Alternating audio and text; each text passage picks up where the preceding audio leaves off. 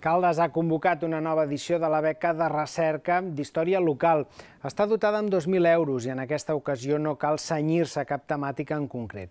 La beca va néixer el 2017 i des d'aleshores s'havia proposat de forma temàtica, donant lloc a investigacions com les de la Torre Marimón o les Pedreres de Caldes. El 2019 es va declarar deserta i la pandèmia va fer que l'any passat es fes una pausa. Amb el canvi en les bases, la investigació pot ser de qualsevol temàtica relacionada amb la història local, l'arqueologia o el patrimoni. El guanyador podrà fer el treball de recerca amb l'assessorament i la supervisió de l'arxiu municipal. Pot optar-hi qualsevol persona que disposi d'un grau, màster o llicenciatura de la branca d'Humanitats o Ciències Socials o bé n'estigui cursant l'últim any. Les propostes es poden presentar fins al 16 de juny.